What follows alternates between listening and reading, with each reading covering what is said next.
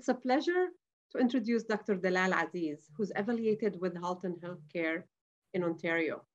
Dr. Dalal Aziz has a subspecialty in breast surgical oncology.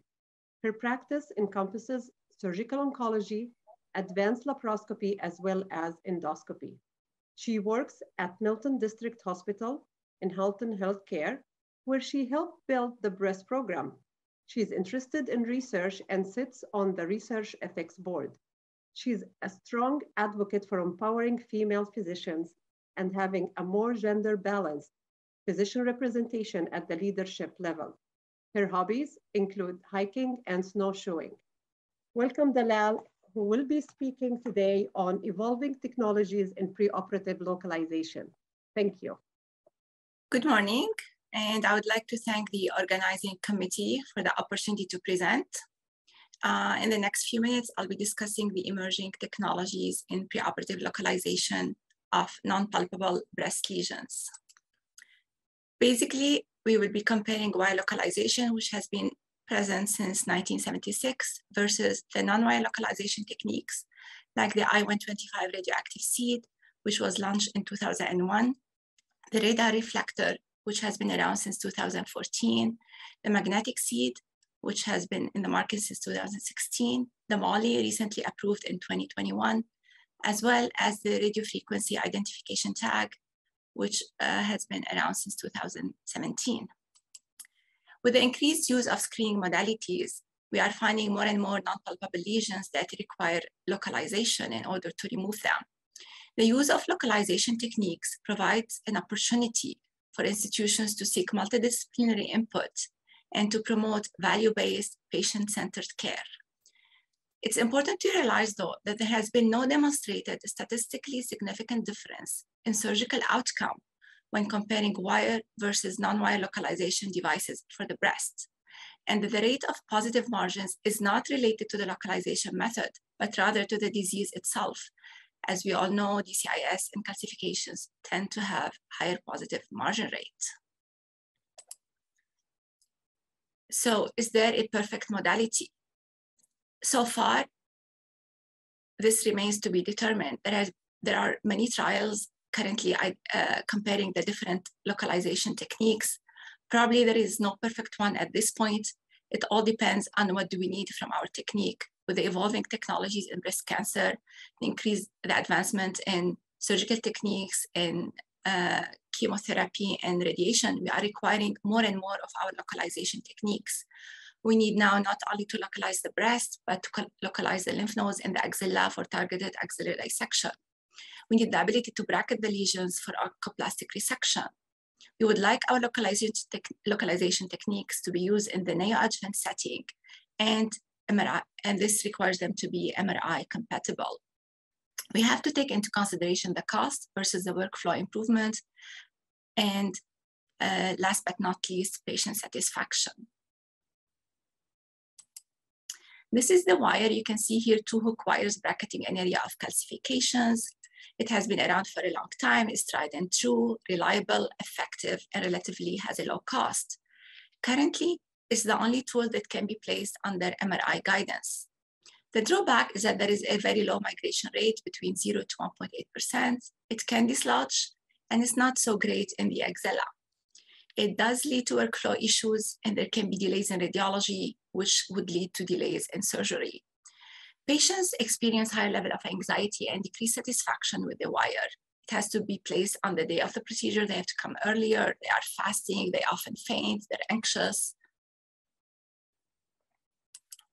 The non-wire localization techniques offer the advantage of decoupling localization from surgery.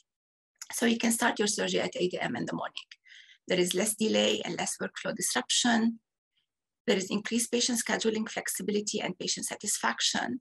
However, they do require an initial acquisition cost and ongoing cost, which potentially could be offset by the operative cost saving.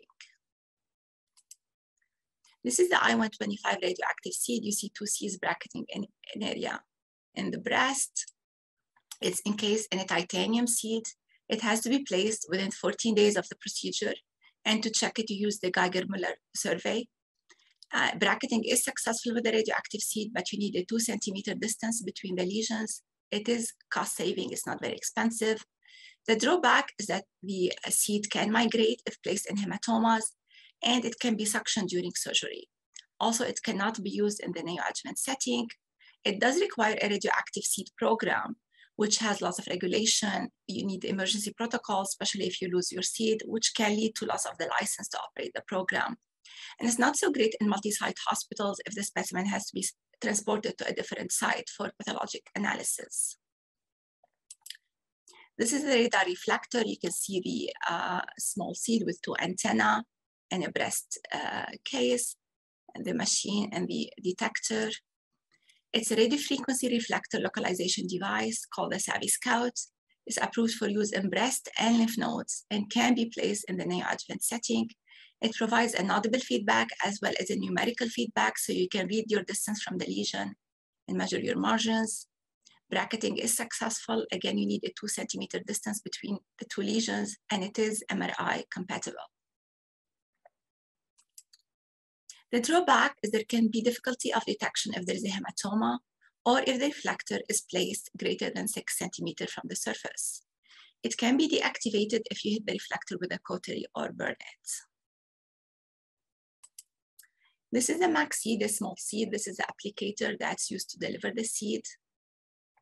It's a tiny metal seed, paramagnetic, approved for use in the breast and in the lymph node. The Sentimag detector probe displays audio as well as numerical feedback.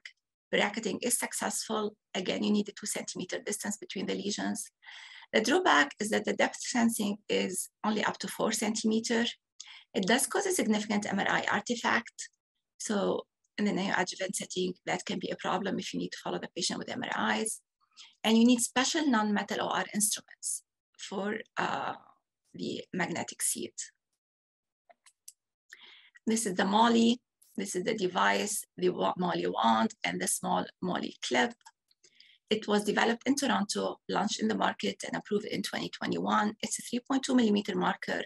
And to find it, we use the MOLLI wand. It can be implanted within 30 days of the procedure. It offers the same advantage as the Magseed. However, you do not need to use special non-metal OR instruments as the magnetic field is not as strong. The drawback again is that it causes an MRI artifact. The radio frequency identification tag or localizer, this is the tiny one to find it. It's uh, developed by Hologic. It uses radio wave signals to identify breast lesions. The tag is enclosed in a glass casing. It has a unique identification number, and it is approved to remain for long term. The handheld reader uses audible sounds and reads the distance, as well as the tag identification number. And this can be helpful for bracketing. Let's say you can use one number to localize the cancer where you need wider margins, another number for the non-cancerous lesion where you can go on smaller margins. The challenges is that there can be difficulty in placement as the applicator has a large gauge. This is especially true in dense breasts. Sometimes you cannot place it in smaller lesions and you have to be, place it next to the lesion. It needs a six centimeter distance from the surface and the tag can break as it is enclosed in glass. Also, it does cause a significant MRI artifact.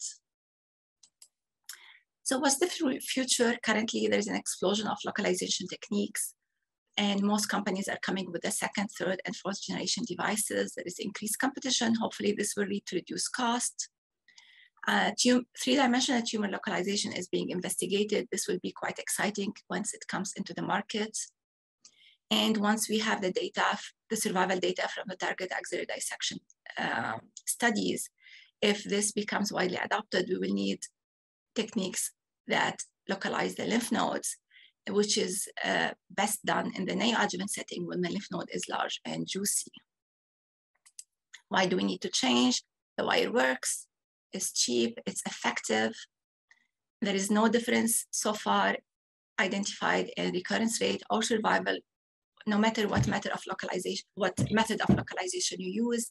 So the need to change is based on a multidisciplinary discussion between the surgeon, the radiologist, taking into consideration multiple factors like the need, what do we need from our localization technique, the ease of use, the physician preference, uh, as well as the cost saving and patient satisfaction. at the end, I would like th uh, to thank you and thank Dr. Shaheen for putting together this amazing program and hope you enjoy it.